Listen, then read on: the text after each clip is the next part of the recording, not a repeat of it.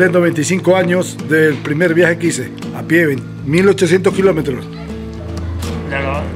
De los 25 años. ¿Qué tal? Está usted muy bien. Está tomando el fresco en Martos. La mayoría de estos pueblos de la campiña de Jaén, como Martos, Torre del Campo, son muy conservadores, de corte nacional católico y en general muy envejecidos, pues están poblados por personas mayores. Los jóvenes prácticamente han desaparecido porque han partido hacia la ciudad. Y este es uno de los fenómenos más trágicos de Andalucía porque la demografía es negativa, completamente negativa. No hay niños. Esa mujer emancipada, esa mujer posmoderna ya no quiere tener hijos. Andalucía entonces va a ser un gran geriátrico. Esta región no tiene ningún futuro. No hay quien trabaje el campo. No hay quien labre la tierra. Todos son viejos, decrépitos, y allí están sentados esperando partir a la última morada, al paraíso celestial. Esta es una tierra conservadora, nacional católica, un pueblo que no sabe leer ni escribir, un pueblo fácil de manipular por los políticos, por la iglesia y los poderes fácticos. Hola. Buena. Hola, ¿dónde estamos? En Marto. En Marto, las cobatillas altas 32. ¿Está usted? ¿Está usted? las cobatillas altas. Sí. Ahora continuaremos hacia Torre Don Jimeno. Pero andando no irá usted, ¿no? No soy peregrino, va andando. Pero, ¿Andando tío usted que ir a Torre de, Don Jimeno? No, hasta Jaén. Adiós. Ay, mira. Cuando hace andando... Porque los peregrinos es lo que van haciendo andando ángeles. Claro. Sí. Claro. Aquí todos los olivas. Así, ah, aquí la oliva. Solo. Solo. ¿Y en Colombia? Café. gracias.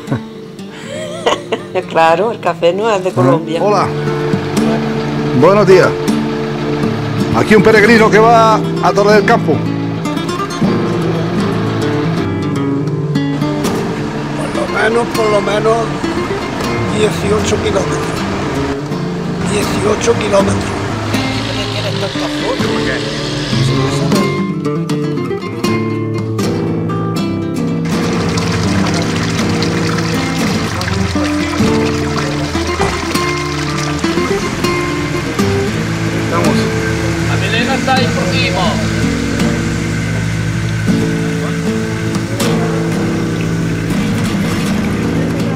Están?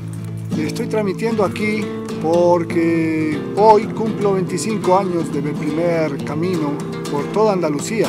El día 20 de mayo de 1986 salí desde Cádiz y cumplí una ruta de 1800 kilómetros por las ocho provincias andaluzas. Me encuentro en Jaén. Hoy es mi cumpleaños. Hoy se cumplen 25 años de esta proeza impresionante. 1800 kilómetros a pie por Andalucía. Aquí estoy, como me pueden ver, vivito y coleando, cabrones. 1800 kilómetros. Y ahora lo repito otra vez. Otros 1800 kilómetros. Hoy también los he cumplido. Para que ustedes aprendan. Me voy. Hasta luego.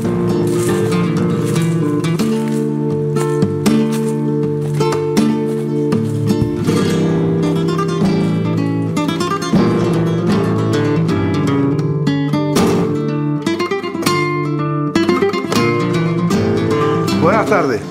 Hola, buenas. Estamos con el señor que se llama Victoriano Meléndez Castro. ¿De qué pueblo? Torre del Campo. Estamos aquí en Torre del Campo con él, que nos está contando su historia, que en este momento se encuentra en soledad en su casa. ¿No es verdad? Sí, sí. Y que aquí no me mandan a nadie porque dicen que no pueden. Estamos atareados, ellos no pueden mandar a nadie. ¿Está solo? Solo. Nadie le presta ayuda. A nada, aquí no acude nadie. Aquí no acude nadie para nada. ¿Qué razones? Porque dicen que yo, es que yo he estado en una residencia Y me vine porque me echaron con uno que había matado a uno. Me dijo que me iba a matar. Y yo cogí y me vine. Por eso no, no me quieren echar a otra. O si no, estaría en la residencia. Si no, sí, ha sido la, el neto de la calorina. ¿Sabes que la calorina estaba antes de llegar a Peñaperro?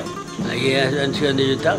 Dos años que estaba allí, pero claro, en una habitación como esto, estábamos dos. Y un día dice, cabrón, maricón, te tengo que matar.